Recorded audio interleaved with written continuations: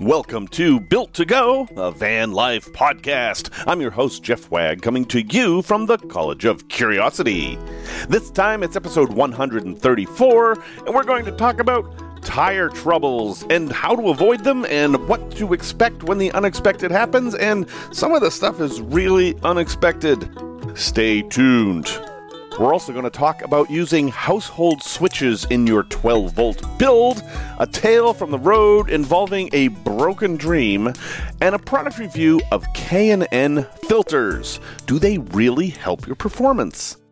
Hello, everyone. Welcome back. Thank you for being here. Hey, I've got a couple of just quick things to toss in here. So I don't know where to put them, so I'm going to put them here. Okay? One thing is if you have an Apple Watch or some other kind of watch with a magnetic band, like mine is this leather band that wraps around my arm, I don't have to clasp anything.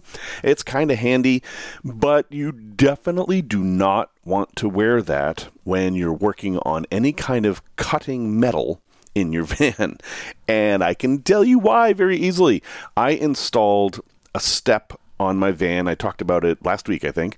And when you drill through the van, you actually have to drill through the seam that's underneath the rocker panels. You create a lot of little metal shavings. And now you see where I'm going with this. Yes, after I was done doing this, all those metal shavings had stuck to my watch band and gotten underneath my watch band and gave me the most unusual rusty rash that I've had in a while. And I couldn't wear my watch for a few days. So, something to be mindful of those little metal shavings are a problem in many ways, and now we have a new one thanks to technology that your watch can actually attract the metal shavings and give you trouble. So, word to the wise either get a watch that is suitable for wearing while you're doing construction, just some kind of simple watch that's tough and isn't magnetic.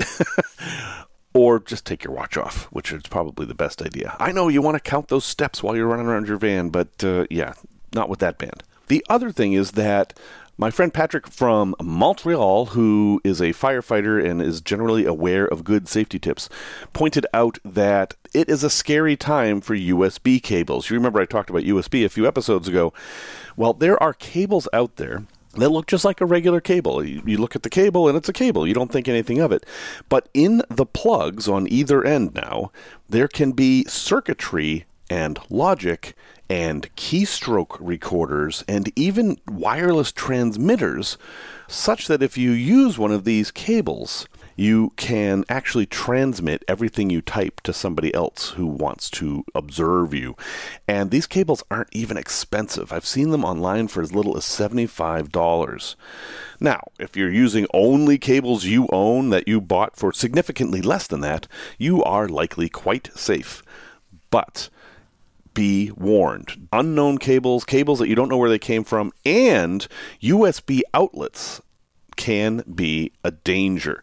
It is not hard to create a charging outlet in the wall and actually have that be live and active and actually doing things. So, just a word to the wise. The safest thing to do is to buy OEM cables, which, you know, that has its own issues, or at least buy cables from a known good source and carry a battery with you and charge that way rather than using random charging points around the globe. I used to criticize folks for carrying a 110 volt USB charger with them because there's so many 5 volt USB chargers all around the world, but actually that's a way to keep yourself safe because if you know where that 110 volt charger came from, it provides a shield between any data catchers and your devices. So, just two quick tips that didn't fit anywhere else, and well, now they've taken up three whole minutes of this podcast. But uh, yeah, it's worth it because they're important. Now, you may notice my voice is a little bit huskier this week. It's because I just came back from a training. I, I spent all weekend training some folks on uh, how to tear down houses and stuff like that because that's what I do. So I apologize if my voice is a little different, but it isn't going to stop me we're just going to roll right on with it. And uh, yeah, so tires, right? Why, why did I create an entire opening segment about tires? That sounds like a little tech talk thing, right? No, no, tires is a big deal. if you think about it, your vehicle is only touching the road on these tiny little four points or six points, depending on your van, where the tire touches the road. The entire rest of your van is in the air, being suspended by these little points of rubber. So, tires are super important. But I'm not going to talk about tread wear and all that kind of stuff. I'm going to talk about something a lot more practical, which is how do you get new tires? Now, you bought a brand new van, you've got brand new tires, everything's good. Yay, you're riding all over the country and you're going off road and having a great time. And then after 20, 30, 40,000 miles, depending, your tires are kind of smaller. You've worn away all that rubber that was protecting you and you need new tires. So, how do you get them? There's the old tried and true method of you go to the tire store and say, Excuse me, I would like to get some new tires for my vehicle, and that works. That is absolutely a good way to do it. But it has some problems. We still have supply chain issues, and sometimes the tire stores will be happy to sell you tires, but they can't get them just yet, and you have to wait for them. Other times, they are restricted in what they can sell. Maybe they can only sell Goodyear brand, and you want to try a Toyo or something like that. So, a lot of people now buy tires online. I do. I think the last four times I've bought tires, it was online and I just bought new tires for my M3 ambulance that is slowly turning into a camper van. So I decided to buy some little bit more aggressive tires. Now, that doesn't really make sense for my usage. I'm spending most of my time on pavement. I should probably get a tire that's optimized for pavement, and that would be low roll resistance and quiet and long tread life and that kind of a thing. But I do find myself in places that are just a little bit off of that norm that I wanted to try a little bit more of an aggressive tread. I did not want to go full AT. I decided to kind of do a hybrid tire. And I've always been a fan of Nokian tires. Nokian is uh, used to be the same company that made Nokia cell phones. Remember how tough they were? Well, their tires are pretty much just as tough. It's a Finnish company that is there from Finland, and they have specialized in snow tires for years and years and years. The Nokian Hakkapeliitta is one of the world-renowned off-road slash snow tires. I mean, they their rubber is different. It, it's softer and it really, really grips into things, even ice. But they have a new line of tires now called the Nokian Outpost. And it's like this hybrid tire that somehow has aggressive tread and is also very quiet. Now, I haven't actually been able to try mine out yet. They're on the van, but I haven't gone highway speeds yet, so I can't give you a review of them. But the process of getting them on the van was uh, hmm, educational and not necessarily in a fun way.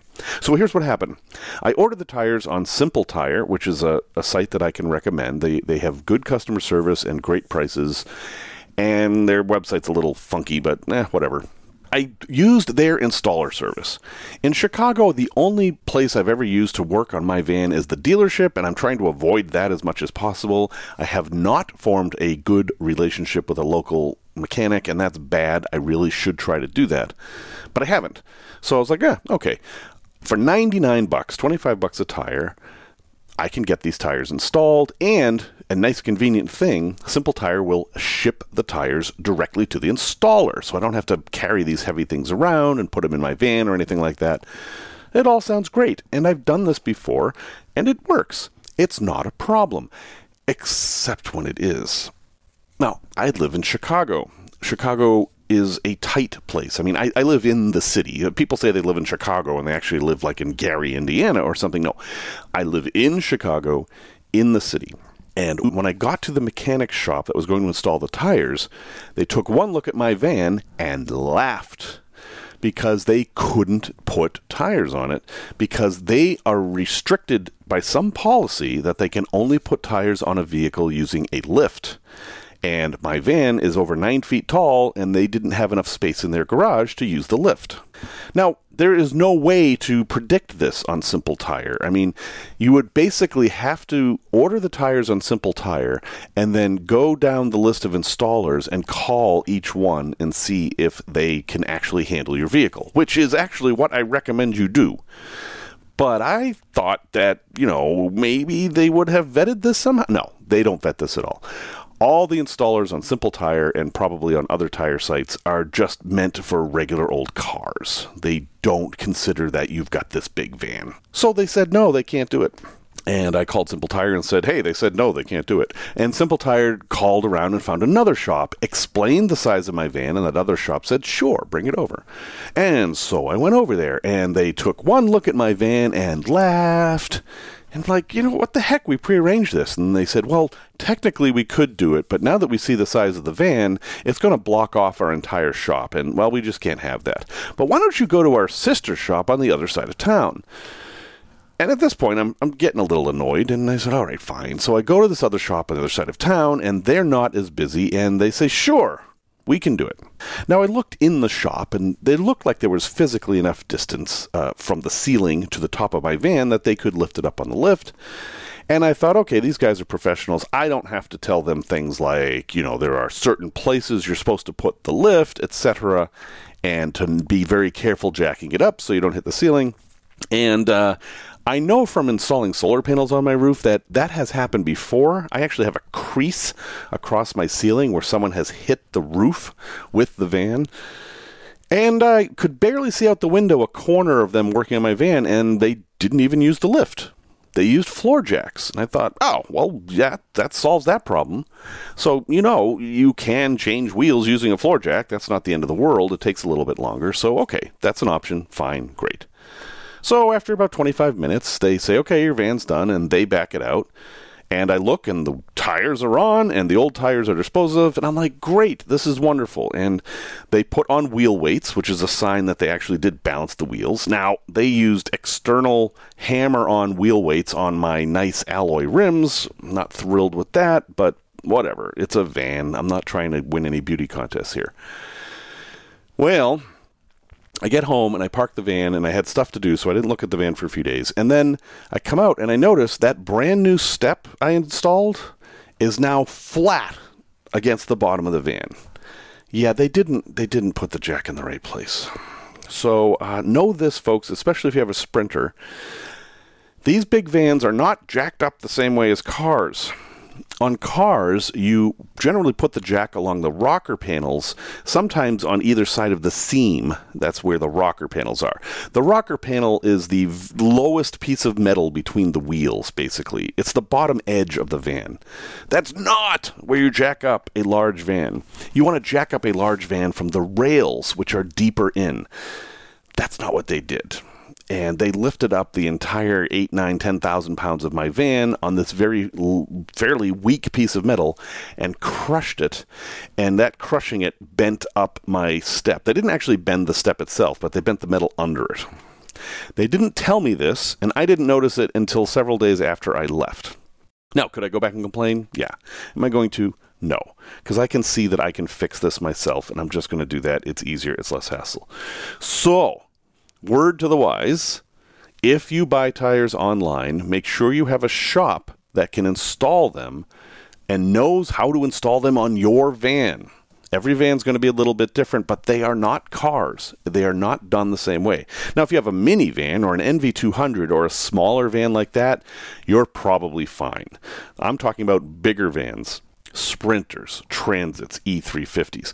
And if you have dualies, well, then you're in for a whole other world of hurt because some dualies require a special adapter to remove them, and not all these shops are going to have them.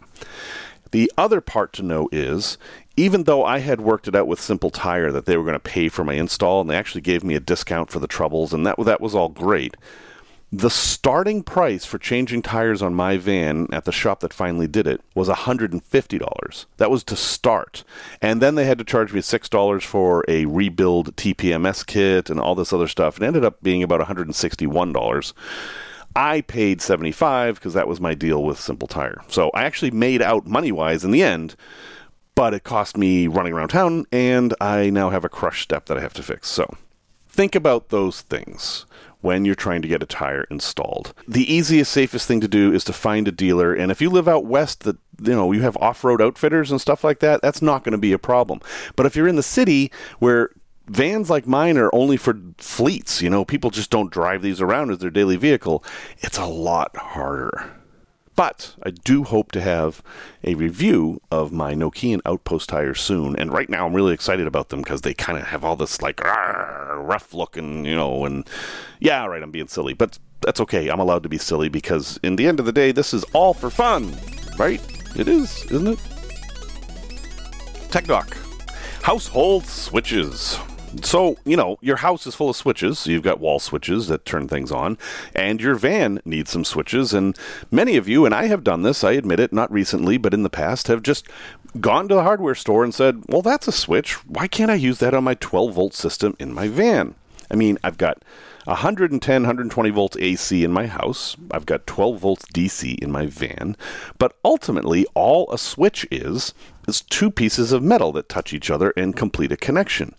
What difference does it make if it's 12 volts or 120 volts? I mean, actually, if you look at the switch, it will give you a range of voltages, and it's often like 600 volts or something crazy like that. So, yeah, it should work. And you will find that if you do go to Home Depot, wherever, buy a household switch and use it in your van, it's going to work just fine exceptions for dimmer switches. Some of those are going to give you a hard time because they actually use the voltage for something. Or if your switch lights up, that's another thing. But a normal switch, absolutely. But why is there a difference then? Why are automotive 12 volt switches different than household switches? I mean, why do they exist? And it turns out there is a reason, and it's something you may not notice unless it's a switch that's used a lot over time, household switches may fail in a 12 volt application because of what happens when those two pieces of metal hit each other. Now, in a household application, you're using 110 to 120 volts and at a fairly low amperage. I mean, the most you're probably going to draw on a normal household switch, a normal household switch, is 15 amps.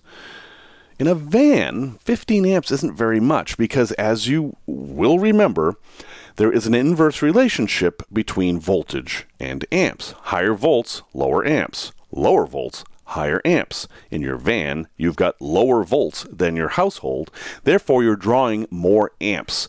And the more amps you draw, basically creates a bigger spark when you connect those two pieces of metal, and that creates scoring and pitting and problems like that. And over time, that can cause the switch to fail.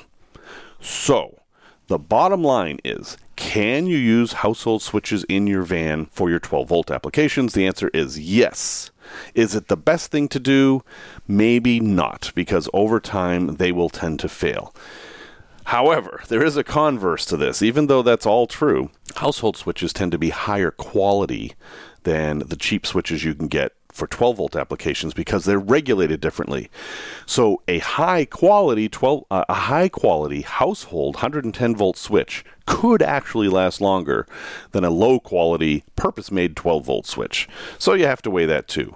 At the end of the day, just know what you're getting into. If you really want to use a household switch, if you have a perfect application for it, go ahead and do it. Just be aware that, you know, after a couple of years you might want to replace it and you know that's okay they don't cost a lot of money and they're fairly easy to replace so now you know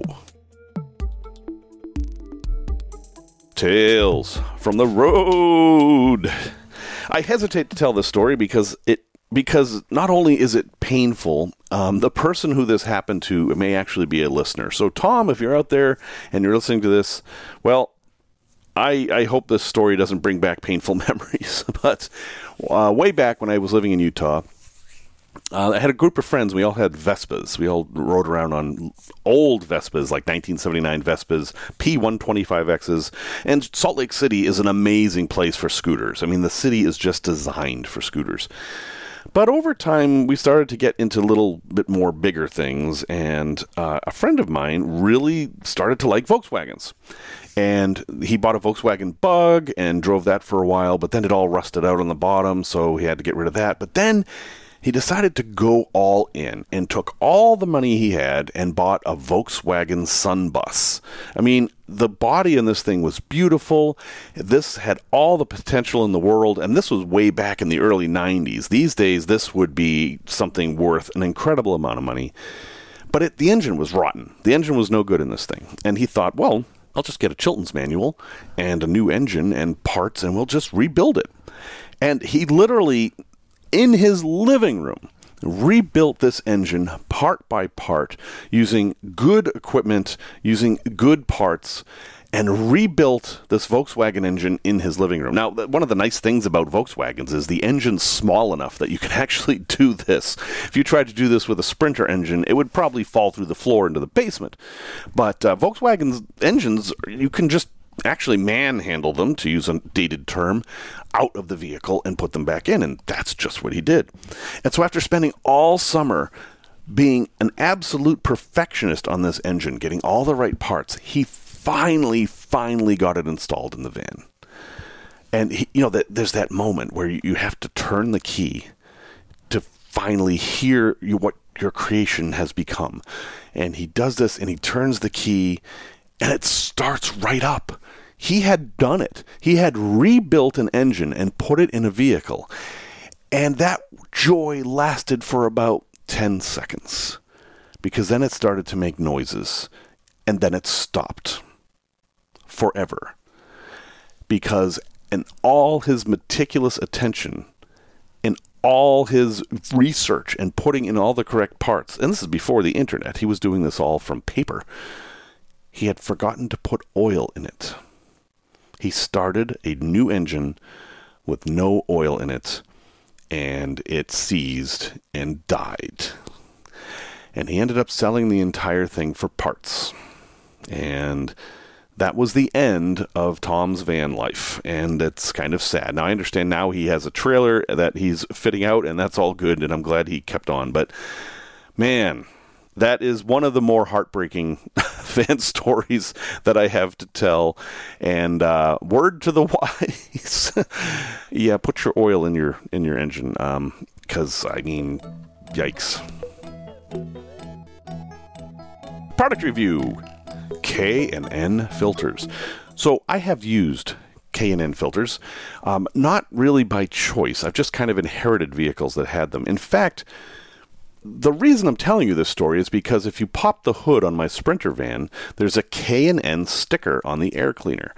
Generally, when you buy a K and N filter, it will come with a sticker that you put on the air cleaner so that you can tell people, hey, this is a high quality, high performance K&N filter, and you should not replace it because K&N filters are cleanable.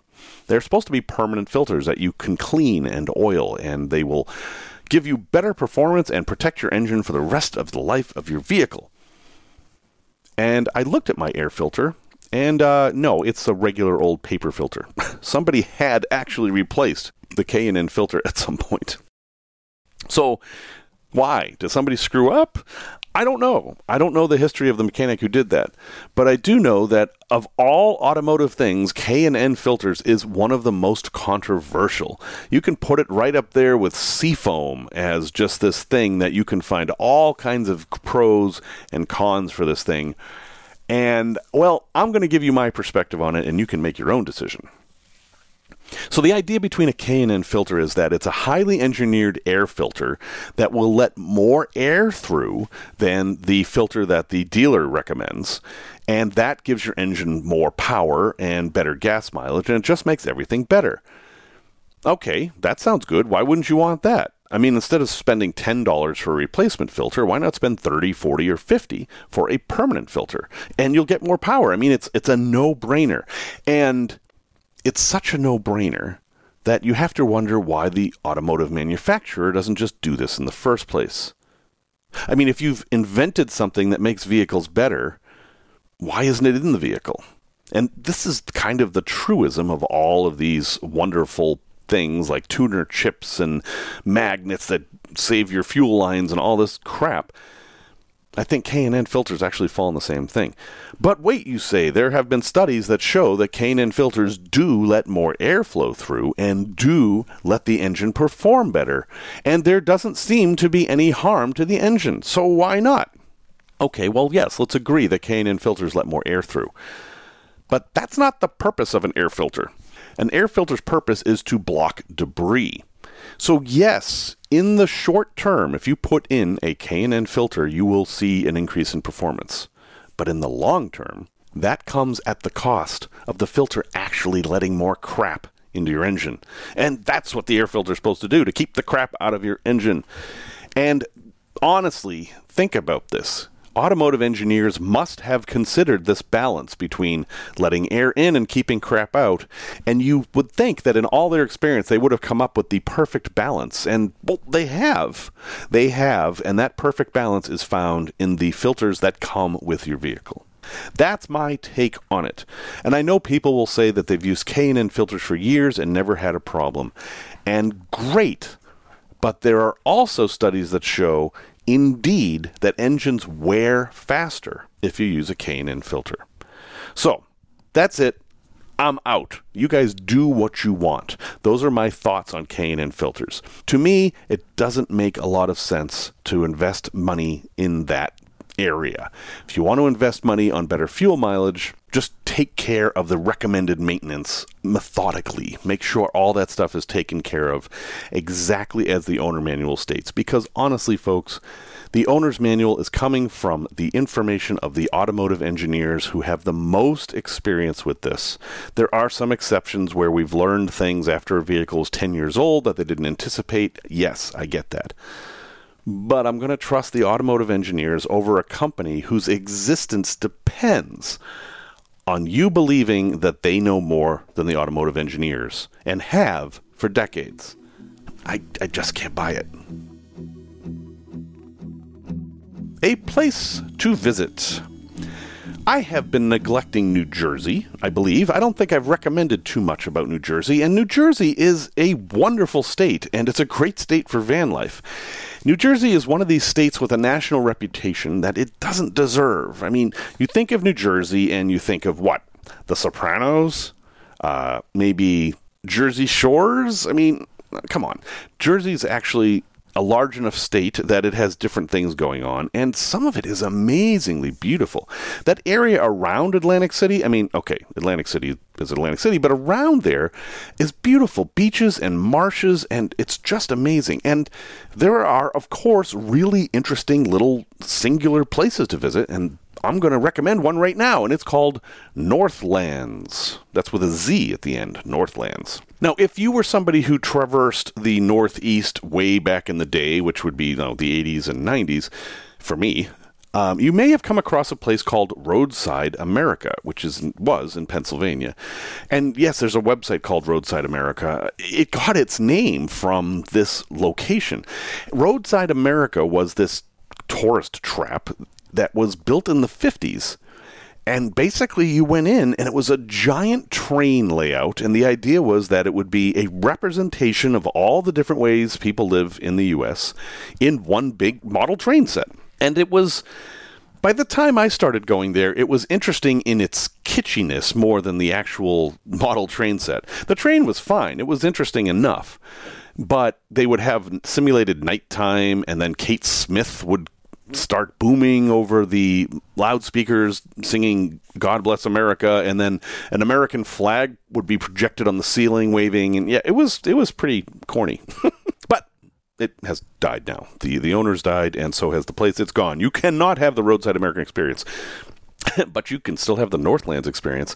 Northlandz started off as a guy's model train set, and it got to be so good that he would charge admission and have people come see it. And then finally, he moved it into a warehouse. And, well, it got to be so big that it takes hours to see it all. In fact, the entire train layout is over a mile long. And I don't mean there's a mile of track, I mean you have to walk over a mile to see it all. but that's not the interesting part. If you've ever been to House on the Rock up in Wisconsin, where it's kind of an uh, otherworldly experience. It's like if a museum existed and also forced you to drop acid at the same time, and I'm not in a meow wolf kind of a way. Anyway, if you've been to these places, you, you kind of know where I mean. This is a train set on steroids. It is exaggerated in the vertical plane you're basically looking at a madman's idea of what train America looks like.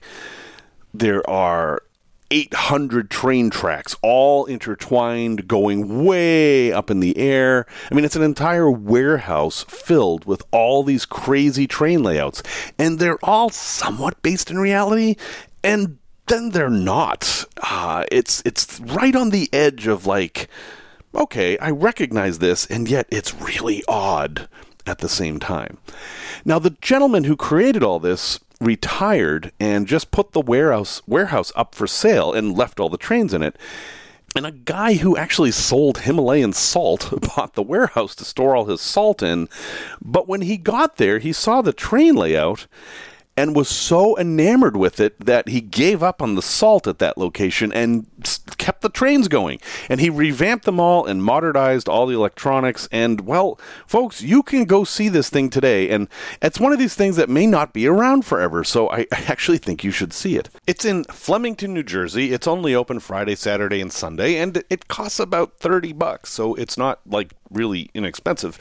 But they do have camping on site and they have an outside train. And this is one of those classic old time American tourist trap experiences that we used to think were bad, but now we kind of are nostalgic for. And yeah, I recommend you check it out. I haven't yet. It's on my bucket list. And the next time I drive through New Jersey, I'm going to get off the turnpike and go to Flemington and visit Northlandz. Well, folks, my voice is failing me, so I'm going to end the episode here. Sorry, no resources this week, but thank you very much for listening to episode 134. If you need to get a hold of me, I am Jeff at builttogo.com. That's two T's, not three, not one. Music, as always, is by Simon Wagg. And until next time, remember the words of Jack Kerouac, who said, Our battered suitcases were piled on the sidewalk again. We had longer ways to go but no matter, the road is life.